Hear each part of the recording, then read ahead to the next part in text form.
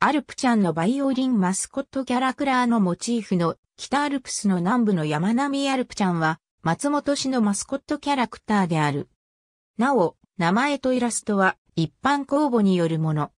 松本市の市政施行100周年記念事業、マスコットキャラクターとして2006年に登場。市政100周年を盛り上げるため、市内のあらゆる行事に出席した。特に松本の保育園、幼稚園をすべて訪問したことから、松本でアルプちゃんを知らない子供は皆無と言えるほどになっている。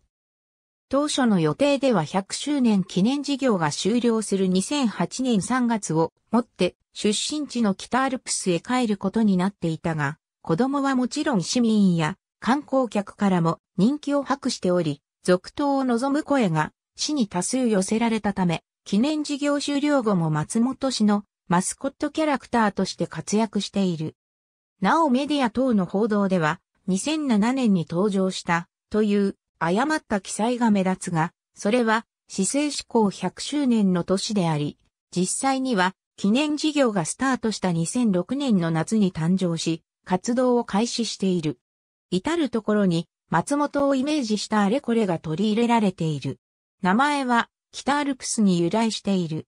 ちなみにアルプとは英語で標高の高い山を意味する。アルプちゃん心得というものがある。項目は現在以下の11項目である。北アルプスの妖精であることから男でも女でもない。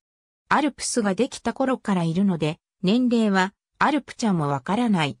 妖精であるためアルプちゃんには人間は入っていない。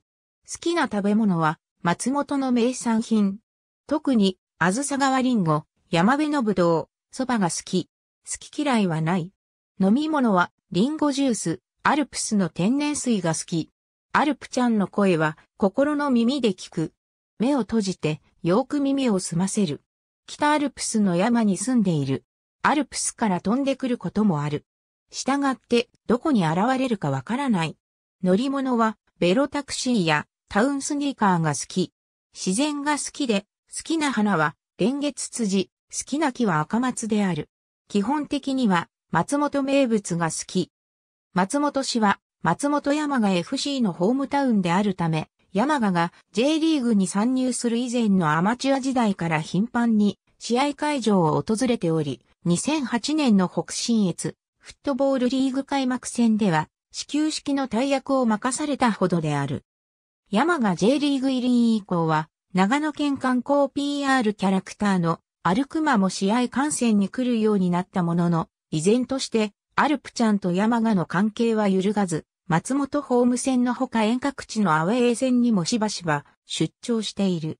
2013年4月には山賀バージョンのアルプちゃんストラップが発売された。販売価格は500円で1個売れるごとに100円をチームに寄付する予定。松本市役所の入り口に市内の石材店から寄贈された石像がある。ゆる、キャラグランプリや、ゆる、キャラサミットイン彦根には参加をしたことがない。2007年には年賀状に押すゴム印にアルプちゃんが使われたことがある。記念事業の期間中はアルプちゃんグッズが多数販売され、ぬいぐるみ、ストラップ、ボールペン、シャープペンシル、プチタオル、シールなどの品揃えであった。2010年、タウンスニーカーの1台に、アルプちゃんのイラストが施された、アルプちゃん GO が登場し、市内を元気に走り回っている。2011年には、フジドリームエアラインズの4号機に、アルプちゃんのステッカーが貼られ、松本市の PR に一役買っている。なおこの4号機は、松本市の観光大使に任命された。着ぐるみは、ノンバルーンタイプ。着ぐるみはイラストを忠実に再現したものだが、手首の袖のようなものが見えるのが欠点とする意見もある。横顔はかなり平べったく、手は子供用の手袋とよく似た形である。足は長靴を履いたように見える。バイオリンも忠実に再現されている。ありがとうございます。